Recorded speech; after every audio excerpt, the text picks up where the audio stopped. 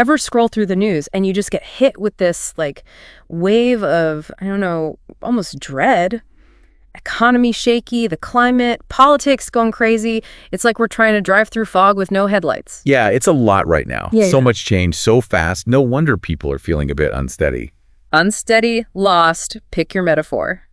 but it gets you thinking, how do uh, we navigate this? Well, today's deep dive might have some clues.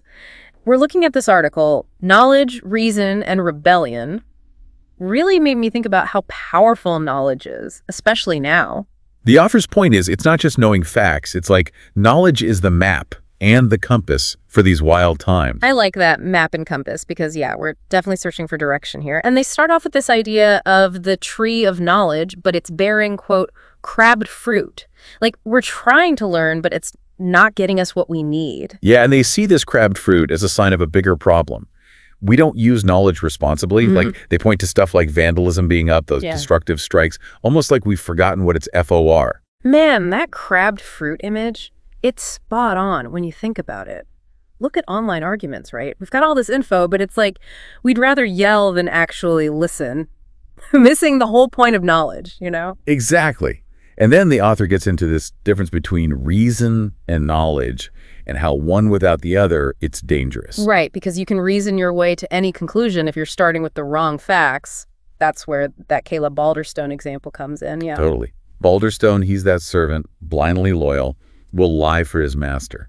It's like even if your reasoning seems solid, without good knowledge as the base, you end up, well, lying for your master.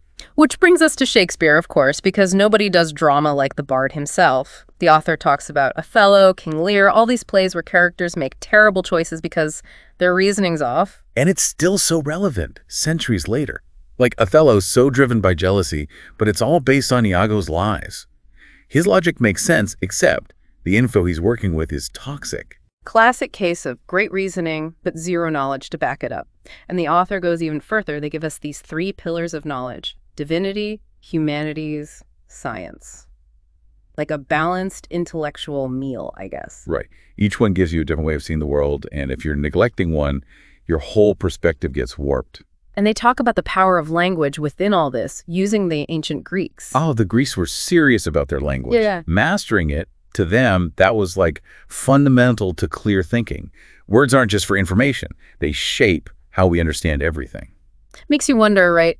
How much of our understanding today is being shaped by like clickbait headlines and tweets, not exactly the peak of nuanced language, you know? It's like we're trying to build a house on sand, you know? Right. Shaky foundations all around. Exactly. And if we can't even grasp language, how are we supposed to have these big, important conversations, these debates? How do we even begin to solve these complex problems? It's like we're losing the ability to actually hear each other, let alone understand. Which gets me to what the author says about science, which I thought was interesting. They're saying even science needs a sense of wonder. Oh, absolutely.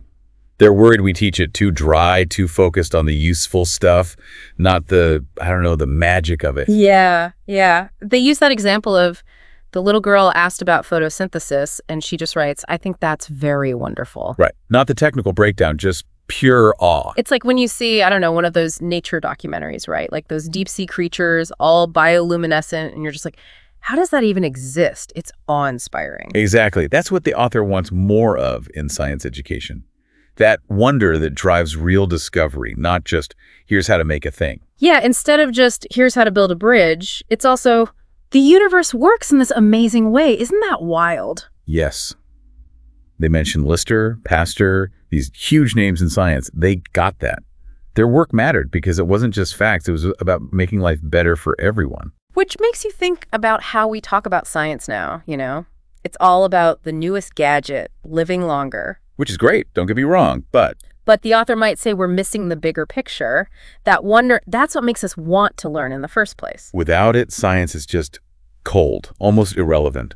It's that awe that gets you curious, and then you want to learn, you question things, you innovate. Knowing the facts versus being truly engaged with them, big difference.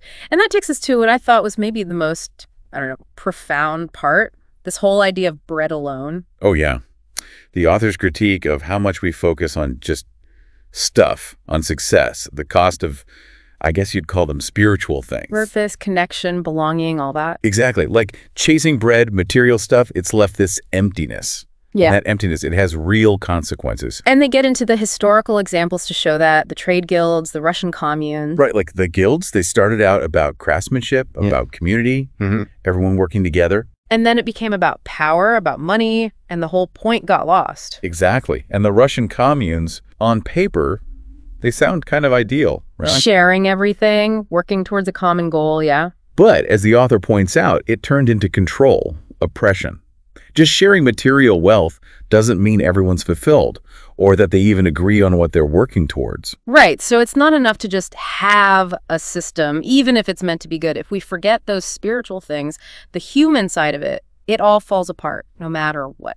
And I think the author's saying that's exactly where we're messing up now. Mhm. We're all about efficiency, producing more, getting richer. But forgetting about connection, purpose, belonging. exactly. So, okay, what do we do about it? This sounds like a huge shift we need. The author doesn't give like a step-by-step plan, but they keep coming back to those spiritual things. Yeah. Duty, responsibility, actually caring about other people. Not just as like a nice idea, but as the foundation of a good society. Right. It's like, yeah, it takes a village, but we have to mean it. Yeah. You know, we're all connected. What I do affects you, what you do. It all matters. And they end on this image coming out of a dark tunnel into the light, onto this bright plane.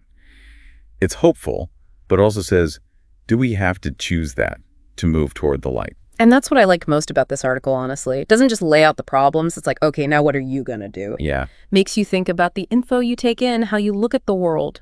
And that we can't just chase stuff. We have to have those values tying us together. Big stuff, but but important. And if this got you thinking, definitely check out the whole article, Knowledge, Reason, and Rebellion. It's one of those deep dives that might just change how you see things, and not just today.